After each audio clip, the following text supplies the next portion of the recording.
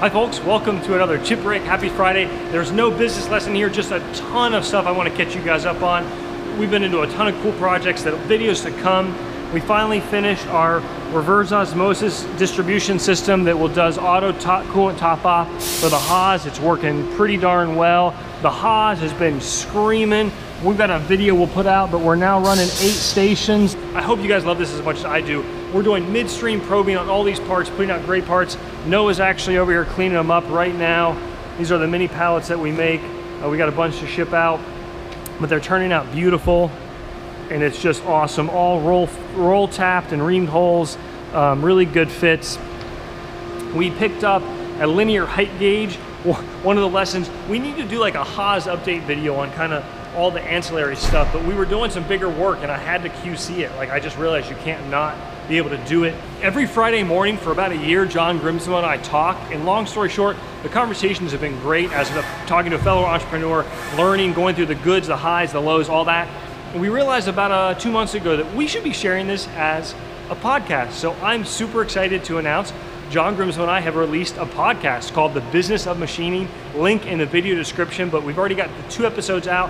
We've got more pre-recorded, uh, and we talk every Friday morning. So every Friday, you guys get a new 20, 30 minute episode that's very candid. It's really just a conversation that's private between John and me that we decided, hopefully it helps you if you're a fellow entrepreneur or you love hearing what we talk about. It's machining, it's business, it's, it's cash flow, it's knives, it's parts, uh, hope you guys enjoy. Super excited for the open house. Already starting to get into ready mode. It's not until May, uh, but want to give a shout out to American Rotary. They're hosting a contest that ends at the end of February. Link in the video description. Where, long story short, if you're a U.S. I believe lower 48 resident, they are picking up your flight and hotel to our open house as a contest. So to enter into that contest, link in the video description to do that. But again, thanks to them, super cool. We're also hosting a scraping class in June with Richard King, the same class that I took down in Georgia. Uh, not too many spots left, link in the video description. We'll open it up to like the bigger audience, but I wanted to give you guys a heads up and a chance to sign up for that. Uh, if you're interested, it's a five day class. It's not cheap, but it was incredible. We'll include a card uh, here to our video on that class if you wanna see more about what it is. It's running, folks, take a look. Hydraulic pump, Oops, I gotta turn it on. the one thing that's we gotta fix, we got a button that's kind of bad, so we, we built a little stop that holds the button down. Look. I already ground apart. We actually got a video coming out on it. Yes, so cool. Speaking of precision, we are gonna host a plate party. What's a plate party? Well, I'm learning that it does you no good to own surface plates if you have no idea how accurate they are. I own three of them, and every single one of them I bought at auction. I have no idea how good it is. Uh, the quote that we got was $475 to come to our shop, calibrate and lap in three plates. And I talked to the guy and I said, hey, do you mind if we have other people that are in the area bring their plates over? So you can drop your plate off here and come back and pick it up, or you can come uh, when we host it. I don't know exactly when it will be.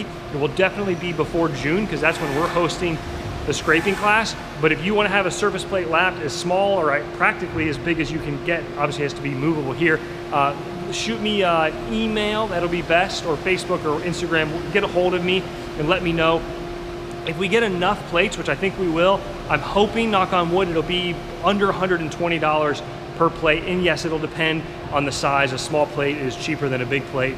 Finally, speaking of the Haas, we've been trying to have that machine running between about 6 a.m. and 9 p.m. every night, and we've actually been doing it, which is cool. But I'm realizing, I can't believe how quickly I'm realizing it, that spindle time is really important, like really important. And the time it takes us to change parts sometimes is could across a whole day could mean a whole nother batch of parts. So one of the things we're starting to do now is we're going to be switching over to using the orange vise bodies as bases for fixture pallets. So this is material from Alro. Buying that much of it, which is about two sticks, I can get it saw cut for about the same price as I can get the whole sticks delivered, which means I don't have to saw cut it. And that stuff's heavy to move around. Even though our DeWalt does do a pretty darn good job on it, to heck with it. I've now got six inch by two inch by 20 inch blanks that are ready to go up on the Haas. So we're gonna do a video hopefully next week uh, showing how we machine one of those into a fixture. The, the orange vise uh, screw still holds it down, but it just sits on top. And we're gonna have, we've already got two that are designed up, uh, one with Mitee-Bites, the other's a little bit unique. So more to come on that, folks. Hope you guys enjoy your weekend. It's a beautiful day here in Ohio. Take care. See you soon.